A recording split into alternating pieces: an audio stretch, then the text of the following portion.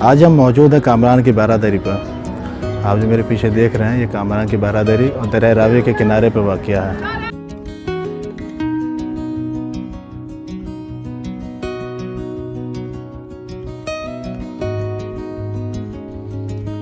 लाहौर से कामरान की बारादरी के लिए आप अपनी गाड़ी के साथ साथ मेट्रो बस का इस्तेमाल भी कर सकते हैं। इसके बाद आपको कश्ती के ज़रिए दरिया के दूसरे किनारे पर जाना पड़ेगा।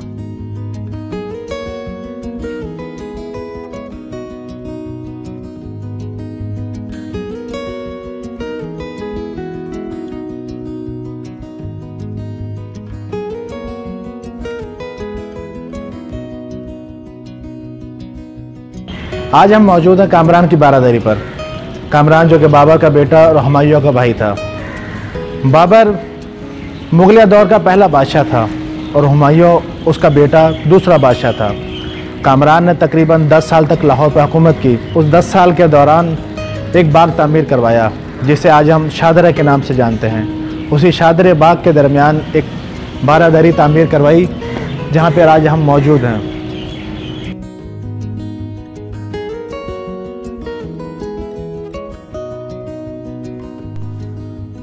1530 में जब बाबर का इंतकाल हुआ तो इसके आखिरी अल्फाज अपने बेटे हमायूं से ये थे कि अपने भाई मिर्ज़ा, अमरान मिर्ज़ा के ख़िलाफ़ कुछ न करना।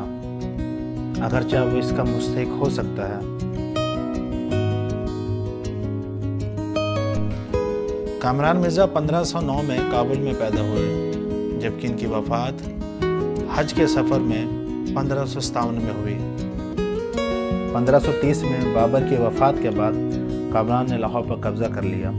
तकरीबन 10 साल लाहौर पर काबूज रहा। इस 10 साल के दौरान उसने एक बाग तामीर करवाया, जिसे लोग शादरा बाग के नाम से जानते हैं। इसी बाग के दरमियान दरिया रावी के मगरबी किनारे पर एक बारादारी तामीर करवाई, जो कि मुगलिया दौर की लाहौर में सबसे पुरानी इमारत है। इस इमारत को हम कामरान के बारादरी के नाम से जानते हैं। इस बारादरी में ख़ास किस्म का पत्थर इस्तेमाल किया गया था, जो कि आज भी इस इमारत को जमा रखता है।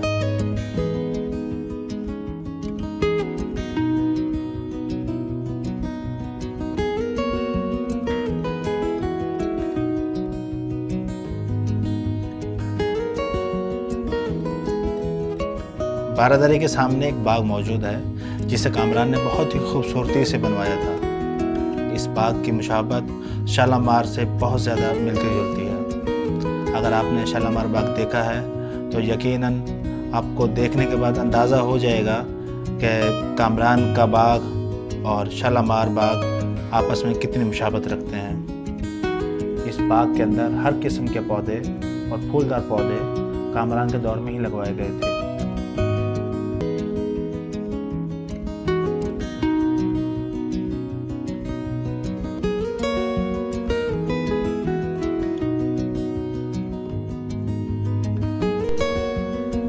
अब हम मौजूद हैं बारादरी की छत पर। आप मेरे सामने देख सकते हैं कि बारादरी से आप बाग का और दरिया रावी का नज़ारा कर सकते हैं।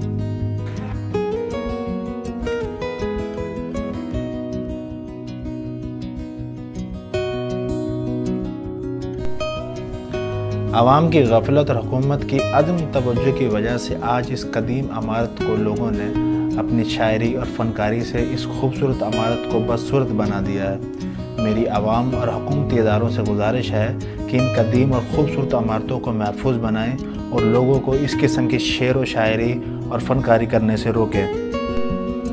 और ये हम सब की ज़िम्मेदारी है कि हम अपनी अमारतों को और कदीम असासों को महफूज बनाएँ उनकी हिफाजत करें।